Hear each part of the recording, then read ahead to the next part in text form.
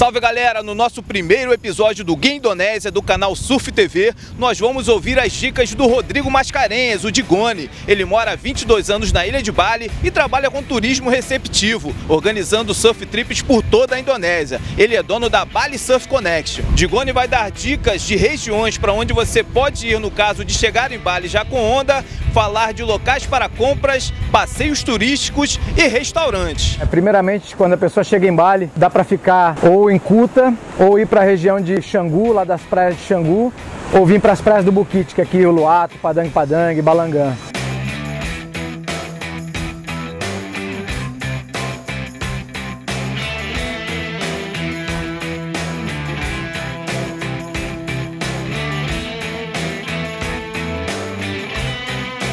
Bali é usada como trampolim é, para as trips que a galera faz pela Indonésia. Então quando a pessoa chega em Bali, dá para aproveitar para fazer umas compras, fazer um turismo, conhecer a ilha.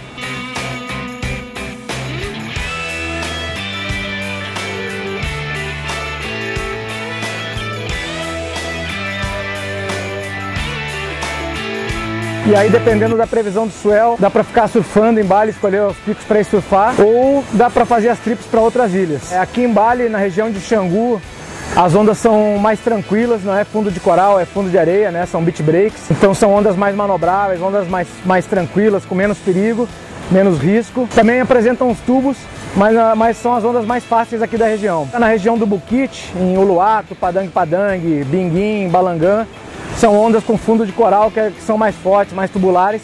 E aí tem que saber a hora certa de surfar em cada lugar. As marés influenciam muito aqui, as marés, os ventos. Então cada lugar tem a sua condição ideal dependendo da maré e do vento.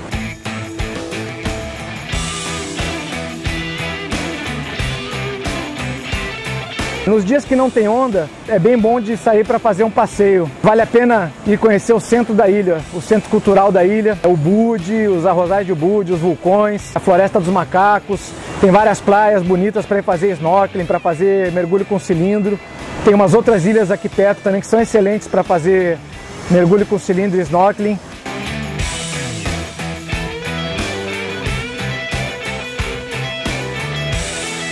Vale muito a pena sair para dar uma volta e conhecer a ilha e não ficar só é, nas praias sem conhecer o resto. Vale a pena aproveitar os dias sem onda também para fazer compras. Os preços aqui são bem bons e o pessoal costuma comprar bastante coisa, tem muito artesanato, tem bastante lojas, é bem interessante. Então, na região de Ubud tem muito artesanato de madeira, em Seminhaque tem várias boutiques, várias lojas. Os restaurantes também são muito bons, tem excelentes restaurantes nessa, na região de Seminhaque, na região de Oberoi restaurantes italianos, franceses, restaurantes locais, bem tradicionais. E vale, vale muito a pena fazer isso. Valeu pelas dicas de Goni, galera. Na descrição aqui do YouTube a gente dá uma repassada em tudo que ele falou e coloca também os contatos dele. E não se esqueça, gostou do vídeo, dê um like e também inscreva-se no nosso canal. É só clicar aqui na logo do Surf TV. Até o próximo episódio, galera. Quem vai estar com a gente é Bruno Santos, falando sobre a região do Bukit, bares, restaurantes e ondas. Um abraço!